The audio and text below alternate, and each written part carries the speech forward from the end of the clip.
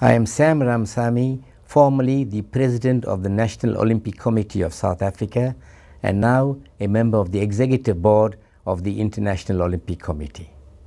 Beach volleyball in South Africa has becoming increasingly popular and it is in fact catching everybody on the go throughout the country.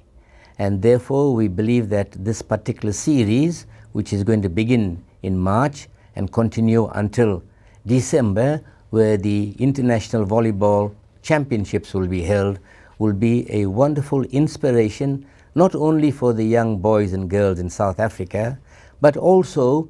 to ensure that there is public support. And this is going to be useful because beach volleyball is going to be done on the beach and we're going to get lots and lots of people who will bring children there and those children by themselves will be inspired by what's happening and again beach volleyball is going to grow to such an extent hopefully in the not too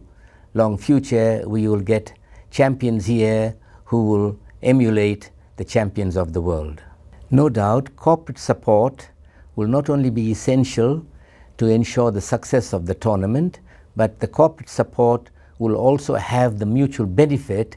of making sure that their particular products are advertised not only in South Africa but all over the world simply because beach volleyball is an increasingly international formula for extraordinary success. For instance, at the last Olympic Games held in London, beach volleyball was one of the most successful tournaments, not only as far as player support was concerned, but most importantly, spectator support was concerned. And for that particular reason, we believe that whomever supports uh, this particular tournament will benefit greatly in very many areas of its manifestation.